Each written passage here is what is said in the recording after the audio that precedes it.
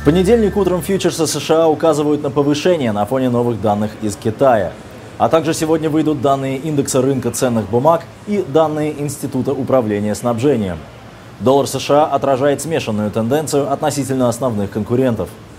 Курс пары евро против доллара понижен на 0,09% и составляет 1,1164. Фунт на 38% понижен относительно доллара США. Его стоимость 1,3180. Пара доллар против иены повышена на 17%.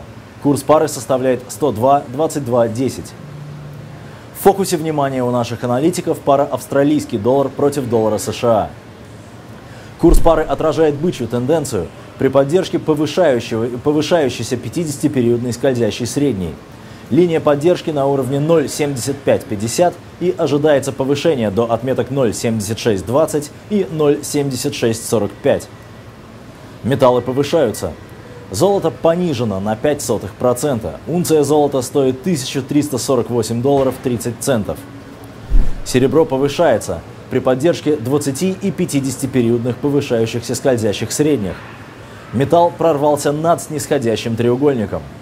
Ожидается дальнейшее повышение над линией поддержки 2027 до отметок 2080 и 21.